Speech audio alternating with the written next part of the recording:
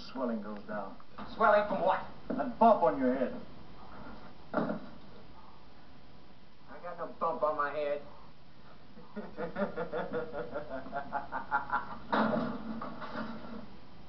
you have now.